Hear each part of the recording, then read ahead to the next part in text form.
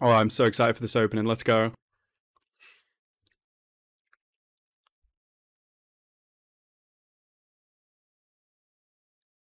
It's really colourful so far. Okay.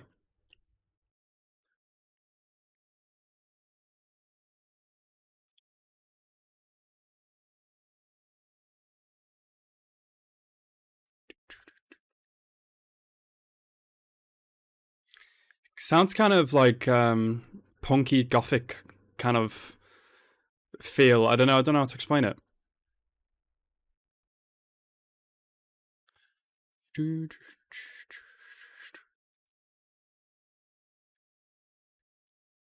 It does feel very wary, like war times. I'm really excited to see what uh, what kind of a, um, a change Mappa will have to the anime now, now that it's changed from Wit to Mappa. I'm really looking forward to that though. Uh, Mappa did have done so well with Jujutsu Kaisen, so I'm looking forward to this definitely.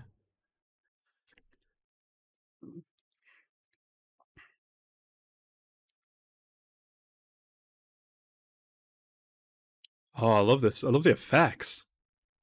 Looks so nice. We haven't seen anything Titany so far in this. Oh no, there they are.